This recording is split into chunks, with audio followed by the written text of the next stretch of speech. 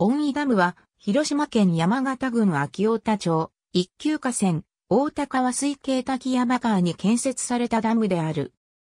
国土交通省中国地方整備局が管理を行う国土交通省直轄ダムであり、大田川の治水と県と広島市をはじめ、広島県中西部及び芸予諸島への利水を目的とした特定多目的ダム法に基づく特定多目的ダムとして2001年に建設された高さ156メートルのアーチ式コンクリートダム。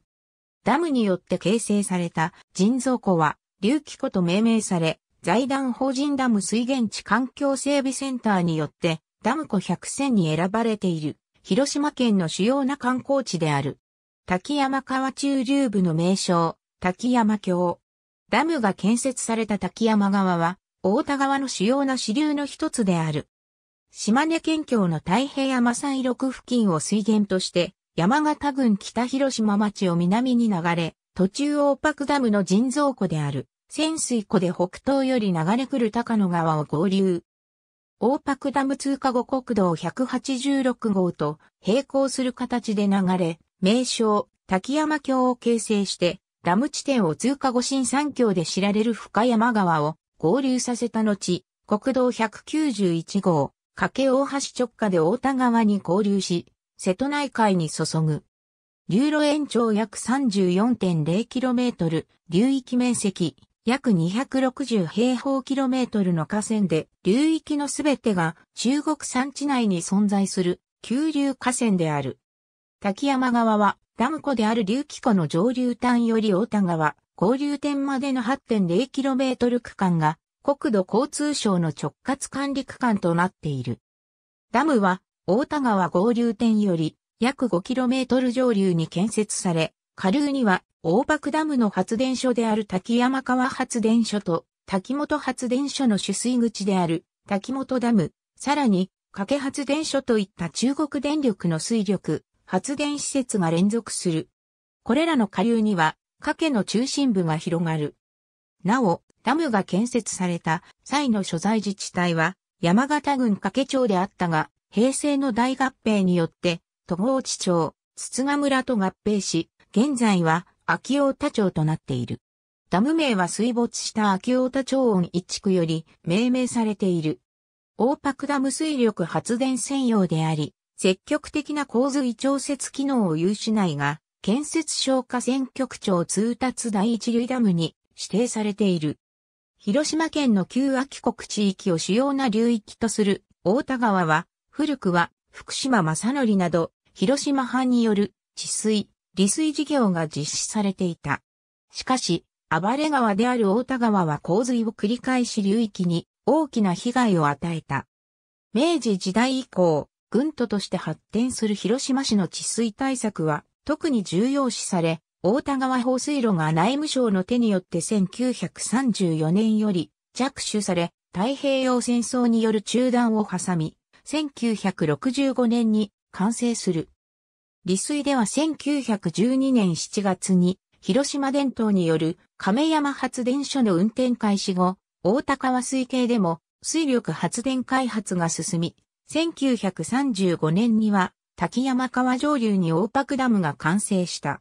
1957年には、かさ上げによるダム再開発事業が実施され、発電能力を増強。大田川本流の立岩ダム、支流、柴木川のタルトコダムとともに、大田川3ダムとして、地域の電力需要に応えた。大田川放水路の完成で、広島市中心部を含む大田川下流部は、治水安全度が飛躍的に向上したが、反面上中流部においては、部分的な河川改修が行われる程度で、本格的な治水事業には進まなかった。前日の大田川3ダムは水力発電専用であり、洪水調節は目的に有していなかった。1964年の河川法改定で、大田川水系は、翌1965年に一級河川の指定を受け、広島湾川口から 73.5km 地点上流、現在の秋大田町と郷地付近までが直轄管理区間として指定され、同年に治水の基本計画である大高川水系工事実施基本計画が策定された。また1966年5月17日には、建設消火選局長通達、伊達川発、第178号が発令され、発電用ダムなどの利水ダムに関しても治水に対する責務が明確化。大田川3ダムは通達第一類ダムに指定され、多目的ダム、治水ダムに準じた洪水地の放流対策が義務付けされた。しかし、大田川中上流部の治水対策は万全とはいかなかった。こうした中、1972年7月、梅雨前線による集中豪雨が中国地方全域を襲い、大高川水系では特に滝山川、芝木川上流域で総降水量が600ミリを超えた。この豪雨により、大田川は1948年に定められた計画降水流量毎秒6000立方メートルを上回る洪水となり旧掛町を中心に大きな被害を与えた。一方原爆投下による壊滅的被害より奇跡的な復興を遂げた広島市では、松田の自動車工場をはじめ工場が進出、また人口も飛躍的に向上して、上水道需要が急激に増加した。これに対し大高川水系では、上水道供給を目的としたダムなどの大規模水道施設の整備が遅れていた。このため建設省は中国地方最大の河川、河野川と大高川水系を連結した形での開発を起と、河野川本流に、恥ダムを1975年に完成させて中国、電力壁発電所を経由した形で、河野川の下水を大田川に導水。同年完成した大田川本流の高瀬関より、取水する形で、広島市などの水需要に対応しようとした。しかしその後も広島市の人口は増加しついには100万人を超えるに至った。また離島である芸予諸島の水不足も慢性化しており、新たな水資源開発に取り組む必要性が生じた。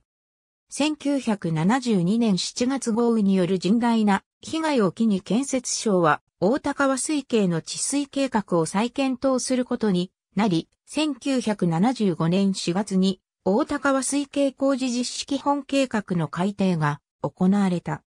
この中で従来の河川改修に加え洪水調節目的を有する多目的ダムの建設が計画され、検討の結果大田川本流と昭和47年7月豪雨で特に降水量が多かった滝山川にダムを建設することが定められた。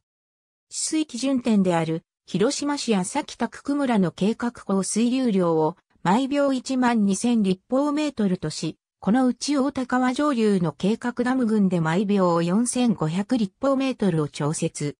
残りの毎秒7500立方メートルを堤防整備や稼働改修などで調節するとした。また増え続ける広島市などの水需要にも対処することがダムの目的に盛り込まれた。こうして計画されたのが恩井ダムである。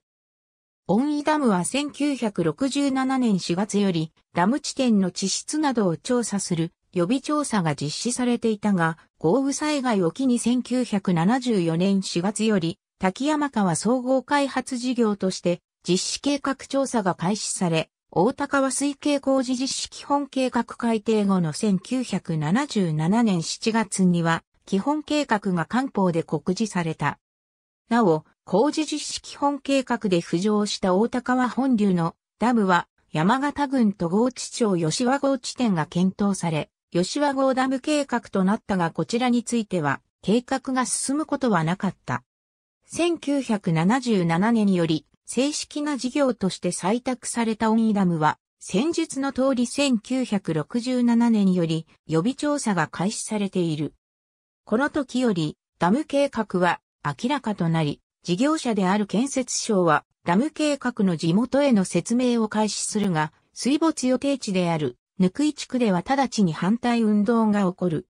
ダム建設によって水没などにより移転を余儀なくされる。住民は、水没13個、非水没14個の合計27個である。実施計画調査が始まった1974年8月には、温井ダム対策協議会が発足し、ダム建設に対し反対の姿勢を見せた。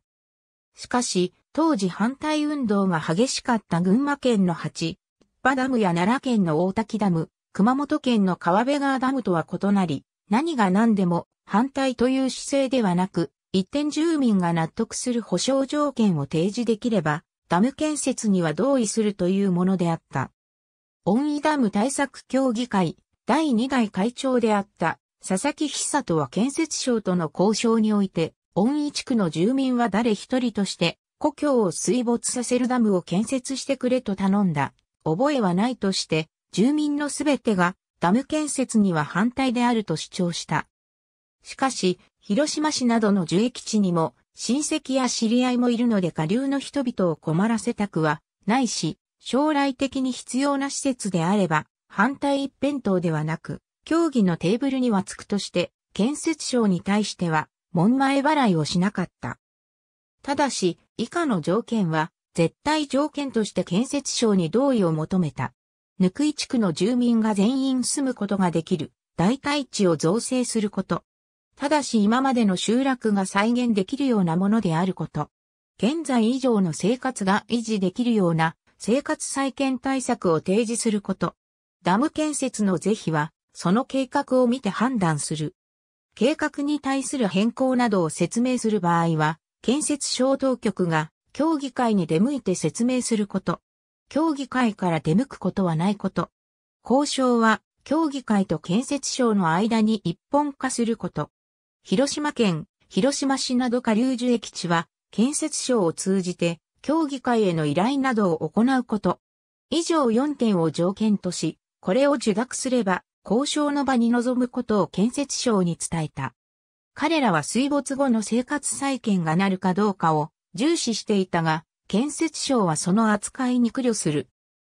水没住民の生活再建対策としては1973年に施行された水源地域対策特別措置法があり、一定の基準を超える水没物件を有するダムについては、国より保証金のかさ上げをはじめとする生活再建対策の強化、補助を行うことが定められ、川辺川ダムなど保証交渉が紛糾している多くのダムが指定されていた。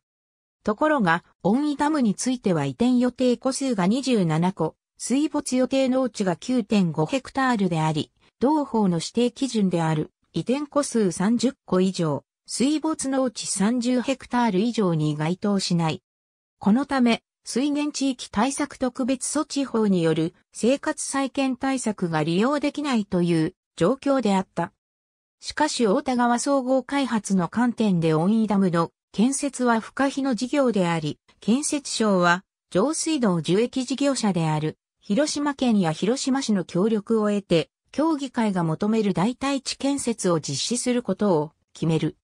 それは付近を通る国道186号を中心としてダム完成5個半となる小温位、奥ぬくい地区に宅地1個あたり面積1000平方メートル、農地1カ所あたり面積4000平方メートルとする都市計画を提示。神社や共同墓地、集会場なども付近の適当な場所に移転する代替地を建設することにした。まず1982年3月より国道186号の付け替え工事に着手、続いて1984年4月より先の都市計画に基づく代替地、新ぬくい団地の造成を開始した。同時期地元掛町当局はダムを利用した町おこしを目指し、温位ダム周辺に多数のレクリエーション施設を建設して観光客を呼び込む方針を固め、移転住民に対する支援、協力を約束した。この施設群はダム建設時に利用される資材置き場や工事作業員宿舎を有効利用するものである。こうした事業者、下流受益者の連携により、協議会が求める生活再建対策は、水源地域対策特別措置法を利用しない形で進められ、後に温位ダム方式と呼ばれた。協議会側もこの事業者側の姿勢を認め、1986年12月に一般保障基準に調印し、保障交渉は妥結した。以後1989年より住宅の移転が開始され、同時に本格的なダム工事にも着手することが可能となった。なお最後まで難航した漁業権交渉は1990年に妥結している。ダム本体の工事は1991年より開始され、1998年に完了。試験的に貯水を行う試験淡水を経て2001年10月8日、ダムは完成した。実施計画調査以来27年、予備調査から起算すれば完成まで34年という長期間のダム事業となった。なお、建設省に対し生活再建対策を要求した2代目、協議会会長であった佐々木は1984年に死去するが、最後に漏らした言葉は、ダムを見てから死にたかったという本音であった。草木ダム計画当初の温井ダムは、草木ダムによく似た外観であった。右岸より見た温井ダム最上部に非常用洪水波器5門、中部に常用洪水波器2門、最下部に常用洪水波器4門が備えられている。温井ダムは計画当初、高さ155メートルの重力式、コンクリートダムとして計画されていた。外観は、群馬県の草木ダムに告示しており、常用洪水波器が草木ダムに比べ1門多い。しかしその後の地質調査において、中世大白亜紀に形成されたと推定されている岩盤の花崗岩は緻密かつ堅固であり、基礎岩盤が堅固でないと建設できないアーチ式、コンクリートダムでも建設が可能であるという結論に達した。このため形式もアーチダムへと変更された。またダムの高さも1メートルかさ上げされ、現在の高さ156メートルとなる。アーチダムとしては日本一の高さを有する黒部ダムに次ぎ第2位の高さである。なお、温井ダム完成と同月に新潟県の三面川に奥三面ダムが完成し、同時期に東西で大規模なアーチダムが完成している。しかし、アーチダムは建設地点が先の理由から厳しい制限がなされ、建設可能なダム地点が少なくなっている現在、アーチダムとして計画されているのは川辺川ダムのみである。しかし川辺川ダムは民主党政権により建設中止の方向性が強まり、川辺川ダム以外にアーチダムとして計画されているダムも存在しないため今後日本において、アーチダムが建設される可能性は皆無に近く、温井ダムは奥三面ダムとともに、日本最後のアーチダムとなる可能性が高い。ダムの目的は治水と利水の4つである。洪水調節については、大高川水系工事実施基本計画により、大高川上流の多目的ダム群による洪水調節計画の一環として、ダム地点における計画降水流量毎秒2900立方メートルを毎秒1800立方メートルカットし、下流には毎秒1100立方メートルを放流する。ダムには非常用洪水波器が5門、常用洪水波器が6門備えられているが、大規模な洪水には非常用洪水波器、中規模の洪水及び浮きに備えて事前に放流する。時には、ダム中央部の常用洪水波器2門を使用し、それ以外は、下部の常用洪水波器4門を使用する。不特定利水については、環境水利見分の農業用水補給や河川生態系維持、塩害防止、地下水の水維持などを目的に、広島市や崎田区久村地点において、毎秒19立方メートルの河川維持用水を放流する。上水道の供給については、長谷ダムとともに広島県中西部の水亀として放流された水は高瀬関において取水され、広島市をはじめ呉市、東広島市、竹原市、秋郡府中町、熊野町、海田町、坂町、そして京葉諸島の江田島市、豊田郡大崎上島町の5市5町に対し合計で1日量として30万立方メートルの用水を供給する。内訳は広島市上水道が1日量20万立方メートル、広島県上水道において1日量10万立方メートルの供給量である。水力発電については、ダム直下に建設された中国電力温発電所において最大 2.300kW を発電する。温位ダムは大高川水系の治水と利水に対し重要な役割を担っている。しかしここ最近の気候変動に伴う異常気象は、大高川水系の治水対策をさらに難しいものとしている。ここでは、温井ダム完成後の大高川水系治水対策について述べる。温井ダム完成により、大高川水系の治水対策は強化され、広島市などの対する上水道供給体制が確保された。治水については建設中に発生した1999年9月の台風18号において洪水調節機能を行使できない工事中の段階であったにもかかわらず、流入量毎秒910立方メートルの洪水を毎秒460立方メートルに抑えるなど、早速治水機能を発揮した。しかし本来の計画においては、温井ダムのほか大高川本流の新規ダム計画と合わせることで毎秒4500立方メートルの洪水を制御すると定めており、温井ダムだけでは計画通りの治水目標は達成できない。大高川本流上流部における治水を担うはずのダム計画であった吉和号ダム計画は立ち消えに近い状況で、この地域は治水対策について空白状態であり弱点となった。大高川水系上流部の治水計画は例えるなら、飛行機のエンジンが変翼しか機能していない状態であり、こうした中で発生したのが2005年9月の台風14号による豪雨災害である。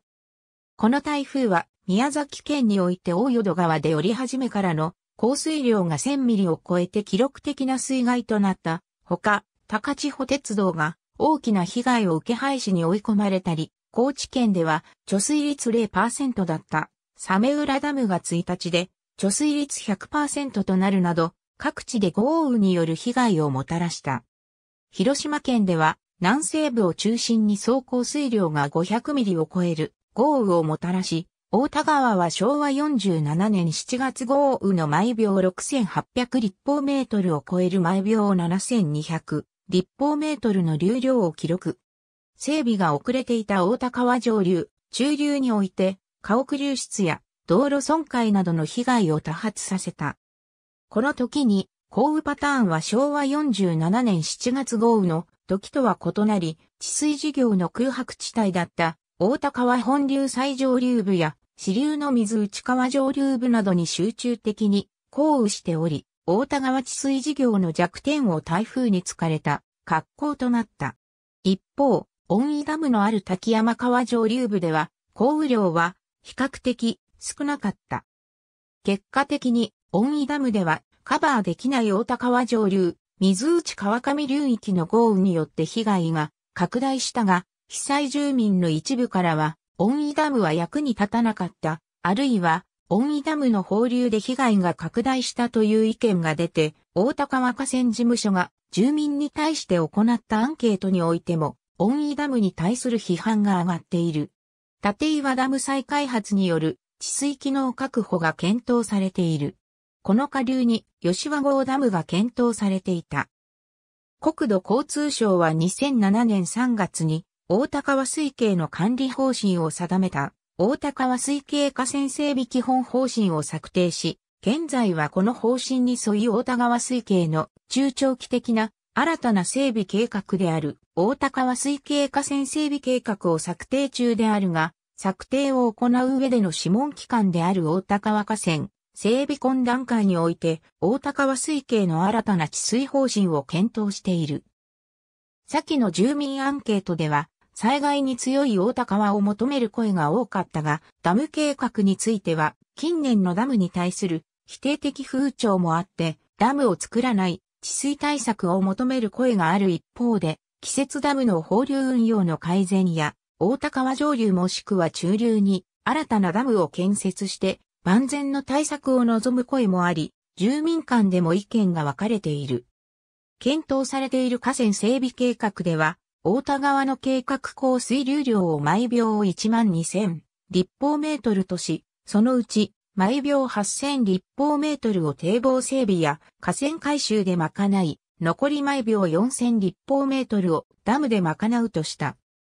この計画案では、先の大高川水系工事実施基本計画と、比べダムで賄う分を毎秒500立方メートル減らすことで、大規模ダム建設の必要性を低くしたが、それでも、オンイーダムは、毎秒1800立方メートルの洪水調節能力しかないため、残りの毎秒2200立方メートルは新たにダムを建設することで対応せざるを得ない。ダム建設が厳しさを増している現在の状況を鑑み、差分のうち毎秒500立方メートルを上乗せし、堤防建設や河川改修で賄うことも検討されたが、大高川下流域は高度の宅地開発がなされ、堤防沿いに人家が集中し、新規に堤防を拡幅すると、多数の移転家屋が生じるほか、河川敷を縮小するためアンケートで多く寄せられた、河川敷の有効利用を求める住民の声と矛盾すること、高瀬関の改築が必要になること、さらに天然鮎の産卵床が川底掘削によって破壊されるなどの問題が発生する。この場合でも毎秒1700立方メートル分は残るため、結果的に上流部のダム建設は不可避でありかつ事業費が高額になることから、新規ダムの建設以上に困難が予想された。いわゆる緑のダムについては、日本学術会議が2001年11月に答申した地球環境、人間生活に関わる農業及び森林の多面的な機能の評価についての中で、森林の寛容力について、中小洪水ならば洪水緩和効果が期待されるが、大洪水では顕著な効果が期待できない。ダムなどの治水事業と組み合わせることで、初めて機能を発揮するという結論を引用し、大高川流域の81%が森林であり、問題の上流部では紅葉樹林が主体であること、水系内の土壌保水力の限界点は経年的に変わらないことなどを挙げ、単独での紅葉を否定している。このため、今段階では発電用ダムを含む季節ダムの運用改善とともに新規洪水調節施設の検討がなされ、大高川本流のほか滝山川、芝山川、三崎川、根、谷川、水内川などの主要支流におけるダム建設の可否が検討された。過去の豪雨における降雨パターンや流域の宅地分布、環境や景観などを参考に検討された結果、台風17号の主要な降雨地帯であった大高川本流や芝山川などの上流域北西部、南西部が建設には有利であるとの結論に達した。この区域には1975年の大高川水系工事実施基本計画で構想された吉和号ダム計画の予定地付近も含まれており、中国新聞は2008年3月26日付の記事で大田川に新ダム構想、秋大田が有力として吉和号ダム計画復活の可能性を匂わす報道を行った。だが、河川整備計画に関連する懇談会資料では、吉和号ダムを含め具体的な予定地点については記されておらず、現時点では吉和号ダム計画が復活するかは全く未定である。同記事では、吉和橋より上流の大高川本流にある中国電力立岩ダムの再開発案もあると報じていることから、今後どのような形でダム計画が定まるかは不明である。しかしより万全の治水整備を行う上では、大高川上流域のダム計画は避けられず、河川整備計画における課題事項として検討が進められている。流気湖温ダムによって形成された人造湖は流気湖と呼ばれる。総貯水容量は8200万立方メートルで、ドラム間に換算すれば、約4億本分、大高川水系では最大規模であり、広島県内においても、八坂ダムの人造湖、八坂湖に次ぐ規模の大きさを誇る。湖名の由来は、地元のぬくい地区に古くから伝わる民話、河の淵の大蛇にちなむ。これは、姫がオロチに化けるという内容のものであり、この民話より、水皆をつけている。2005年には財団法人ダム水源地環境整備センターが選定するダム湖百選の一つに、広島県内では新流湖、八千代湖、本庄水源地及び八坂湖と共に選ばれている。2002年には郵便切手にも描かれたが、ダムが図案となったのは、恩井ダムの他は、黒部ダム、佐久間ダム、小河内ダム、日吉ダムしかない。竜気湖周辺は様々なレクリエーション施設が整備されているが、これは保証交渉におけるダム対策協議会の要望と旧掛町の地域振興策によるものである。湖畔にはリゾートホテルであるオニー、スプリングスをはじめ、半島部には延長 1.5km の観光用、散策道路などがある自然生態公園、レンタルサイクリング施設やバラ園、カフェテラス、さらには宿泊も可能なロッジもある竜気湖の里や工芸センターなど多種にわたる施設が存在する。また、ダム本体も積極的に開放されており、エレベーターでダム内部を巡視するための監査楼に立ち入ることもできる。ほか、ダムの真下にも行くことができる。滝本ダム付近より国道を右折して、旧国道186号に入り、滝山川発電所を通過して、滝山橋を北進すると、ダム直下付近に行くことができるが、現在は落石の危険があるため滝山川に架かる橋よりダム本体まで通行止めとなっており、本体には行けない。毎年5月から6月にかけては、洪水調節のために、湖の水位を下げるための放流が実施され、ダム中部にある常用洪水波キニ門から勢いよく放流する様が見られる。夏には、竜気湖祭りが開催されるほか、2010年からは、ダム周辺を発着点とする 88km の長距離マラソン大会、秋太田芝居マラソンが開催されている。名称、三段橋にも比較的近いほか、世界遺産に登録された岩見銀山と厳島神社の中間付近に位置し、道路の便も良いため訪問しやすい。こうしたダムを中心に据えた様々な観光施設の整備など、積極的な地域振興を実施したことで、秋太田町の観光客数はダム完成前に比べ増加した。ダム完成前後で比較すると、旧掛町の観光客数は前年の2.4倍に増加し、ダム完成翌年の2002年には年間観光客数が100万人を突破。それ以降もおおむね年間80万人前後で推移するなど、旧掛町が目指した地域振興策は成功を見ている。観光地として成功したダムとしては、年間訪問客数が延べ130万人を超える、神奈川県の宮ヶ瀬ダムを筆頭に、北海道の金山ダム、岩手県の五所ダム、京都府の日吉ダムなどがあるが、大井ダムもその成功例である。ダムで栄えた村はないと批判される面があるが、工夫次第で町の活性化につながった一例でもある。大井ダムは広島県の主要な観光地の一つとして重要な位置を有している。恩井ダムへのアクセスは観光地ということもあり、自家用車のほかバスによるアクセスも整備されている。自家用車では中国自動車道、戸郷地インターチェンジ下車後国道186号に入り、浜田市方面へ直進すれば到着する。また、浜田市方面からは国道186号を広島方面へ南下すれば到着する。所要時間は、広島市内から約1時間15分、浜田市内から約1時間10分である。公共交通機関では、JR 広島駅新幹線口より発着する浜田、増田市方面行きの岩見交通バスは、乗り換えなしで直行できるほか、広島バスセンターより発着する三段橋行きの広電バスで途中中国自動車道、かけバスストップで、かけ交通音以前に、または、戸郷内インターチェンジバスセンターで総桜見バス、芸北線に乗り換え、オンイスプリングス停留所で下車すれば到着できる。鉄道はかつて JR 壁線の加計駅が最寄り駅であったが、2003年11月に壁駅と三段橋駅間が廃止されたため、ダムにアクセスしやすい最寄り駅は広島駅となる。ダムと呼ばれているが高さが15.0メートルに満たないため、河川法上では席の扱いとなる。現在の国土交通省、高瀬関上流付近、現在の秋大田町吉和里、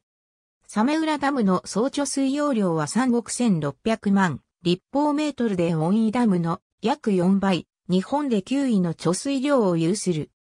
この数字には三段橋の観光客数も含まれているが、ダム完成で観光客数が増加していることが見て取れる。ありがとうございます。